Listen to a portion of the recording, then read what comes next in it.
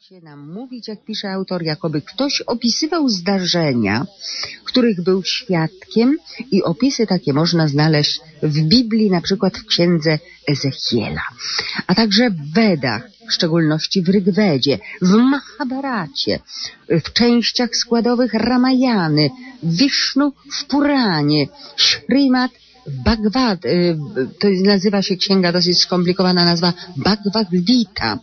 Y, również w księdze Gian, w eposie o Gilgameszu, przecież sumeryjski y, epos, w Kabale, w księdze Zohar, Kebra Negas, wielu, wielu innych pismach, o których jak sięgacie Państwo pamięcią wstecz, mówiliśmy wiele, aby oświecić, rozszerzyć świadomość bytu naszego przedwiecznego, naszych praojców i piękna nadać temu, co kiedyś było, a nie, nie, nie wyzywać, nie określać mm, nie, nierozmyślnie słowami jakieś pogaństwo, jakiś prymitywizm zaprzeszły. Kochani Państwo, oświecajcie się, oświecajcie, bo czasu mało, a chwilami ze wstydem uszy nasze słuchają, co Państwo wypowiedzieć zdołacie. W każdym bądź razie, w wielu pismach, które na całej ziemi znaki swoje mają, i przekazy w Mezopotamii, w Egipcie, w Chinach, w Tybecie, w Azji, w Australii, Oceanii, w Europie, obu Amerykach i Afrykach, o tekstach z opisami technicznymi, proszę Państwa, również pan Andrzej bardzo rozprzestrzenia swoją wiedzę w poniższych zapisach.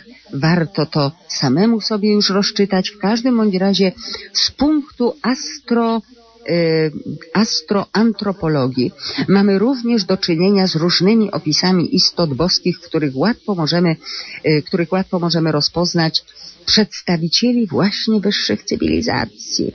Opisy te dotyczą różnych ras odwiedzających naszą Ziemię. I pan Andrzej opisuje, proszę Państwa, wprawdzie te y, rozmaite postaci, obecności ich w różnych kulturach, ale oczywiście sercom nam najbliższa jest nasza historia słowiańska. I najprościej byłoby do niej od razu przejść, gdyby nie mówię nasza religia. Wszystkie religie, drodzy Państwo, uszczerbków umysłowości ludzkiej nie poczyniły ograniczeniami poczynionymi na skutek zakazu fascynowania się innymi religiami, bo też i wspólne korzenie mamy wszyscy. I dzielenie się na religie, na odłamy, na partie polityczne, niepolityczne, prawicowe, środkowe, jakie tam jeszcze są, proszę Państwa, człowiek jest człowiekiem. Rodzina ludzka zamieszkująca planetę Ziemię, tak jak kiedyś była, na powrót stać się ma. Bez podziałów sztucznych, bez dominowania jednych nad drugimi i wyszukiwania przedziwnych, coraz dziwniejszych ustawodawstw, prawideł i jeszcze innych doktryn ograniczających przede wszystkim nic innego jak wolnomyślicielstwo człowieka i wolno, wolność w odczuwaniu uczuć swoich. Bo w uczuciach tak naprawdę i w zakodowanej wiedzy człowiek ma w sobie całą mądrość, kiedy mu się pozwoli, znaczy kiedy człowiek sam sobie pozwoli otworzyć się na tę wiedzę i zobaczyć, jak wiele ma wspólnego z innymi religiami, z innymi kulturami, z innymi, proszę Państwa, rasami ludzkimi na Ziemi, to wtedy dopiero spojrzy, jak głupie są te ziemskie wymysły i ograniczenia, które człowieka zniewoliły, podzieliły, poróżniły również w stosunkach międzyludzkich. No i dlatego jak Państwu wiadomo, wszystko to będzie musiało odejść w zapomnienie, aby przywrócić właściwy porządek rzeczy podług słów Salomona. To, co było, znów będzie, co ma być, powróci. Bóg przywraca właściwy porządek rzeczy.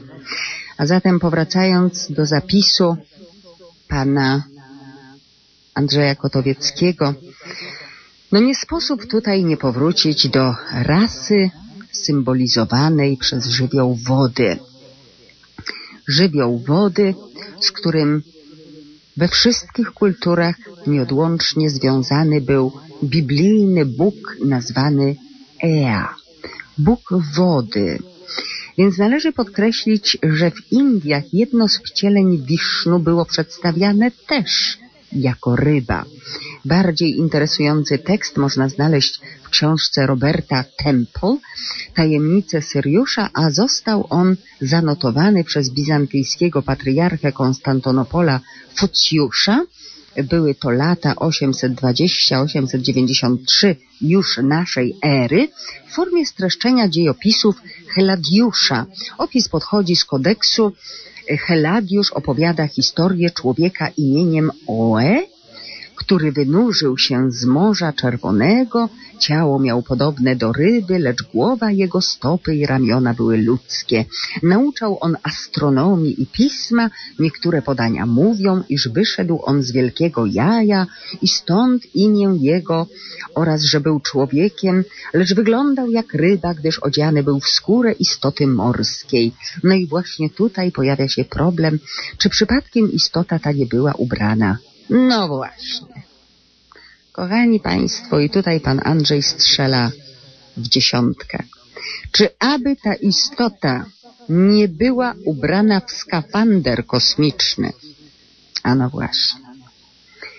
Jakżeż sobie mógł wyobrażać człowiek, daleki jeszcze od cywilizacji takiej, jaką dzisiaj mamy, kiedy zobaczył kosmicznego przybysza, ubranego w lśniący kombinezon, jeszcze z butlą tlenową na barkach, na ramionach.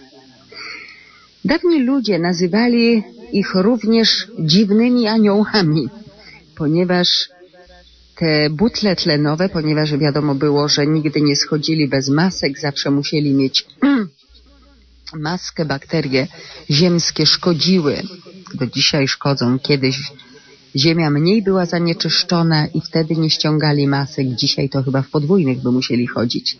Państwo pytacie, dlaczego nie lądują. No cóż, trudno tą planetę nazwać dla istot z czystych planet planetą, na której można oddychać, a zdrowie swoje i życie szanują bardzo więc też i w czasach już zaprzeszłych.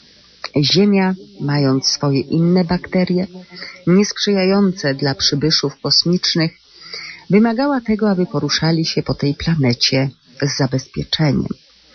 Tak jak macie Państwo opisane w książkach Znak Czasu, bardzo dokładnie w formie opowiadań, całe trzy części logicznie powiązanych 500 tysięcy lat Ziemi i ludzi, historii Ziemi i ludzi.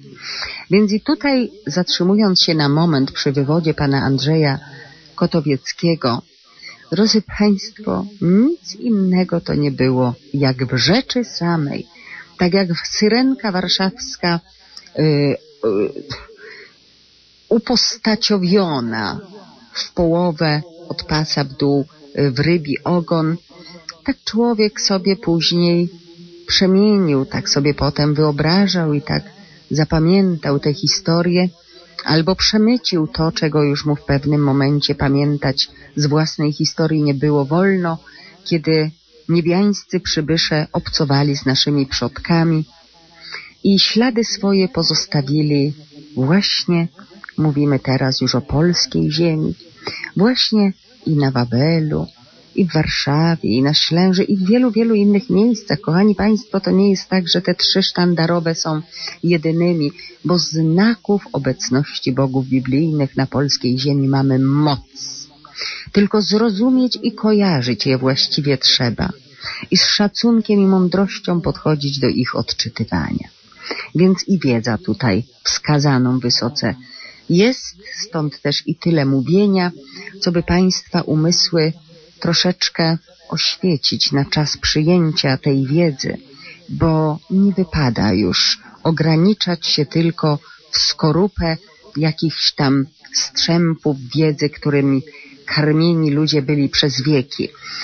Polakom jako narodowi płomiennemu przeznaczonemu do posłannictwa na czasy dzisiejsze, można powiedzieć, nie uchodzi być już nieświadomymi czasach obecnych na to, co wykonane będzie na oczach świata, a będzie. Więc wierzcie Państwo, że wszystkie religie początek miały z jednego źródła. Biblijni bogowie znane, znani są wszystkim religiom. Natomiast wiedzę wypatrzono na ich temat dlatego, ponieważ biblijni bogowie byli nazbyt dużą konkurencją do stworzenia ziemskiej instytucji. Nigdy by one nie powstały, gdyby pamięć rzeczywista, jaka była kiedyś o bogach, po dzień dzisiejszy pozostała. Dlatego dokonano czegoś za coś, powiem ogólnie, wymazując za wszelką cenę to, co człowiekowi przekazano w czasach dawnych, aby go doprowadzić w czasach dzisiejszych do spotkania z ojcami gwiezdnymi. Dlatego też to, co było konkurencją, wybito na ziemi w pień. Ale tak jak Państwu wiadomo, w prawach boskich nie ma czegoś takiego przewidziane, aby człowiek zmienić mógł to, co boskie, ani w kosmicznym zegarze, w boskim zegarze. Człowiek nie zatrzyma ewolucji, człowiek nie, zam, nie zatrzyma biegu wydarzeń, ani tego, co, do czego ludzkość została przeznaczona. Więc i świadomość będzie się ludziom rozszerzać, stare będzie odchodzić, nowe pojawi się, już się pojawia i Państwo wiecie o tym. Nie dzieje się to w ciągu jednego dnia, to cały proces, który już się toczy, który warto z szacunkiem przyjmować, w zamyśleniu głębszym i z godnością większą, bo też i nie po próżnicy te słowa do Polaków są wypowiadane z anteny tego radia. Cóż, patrzę na zegar, czy rozpoczynać.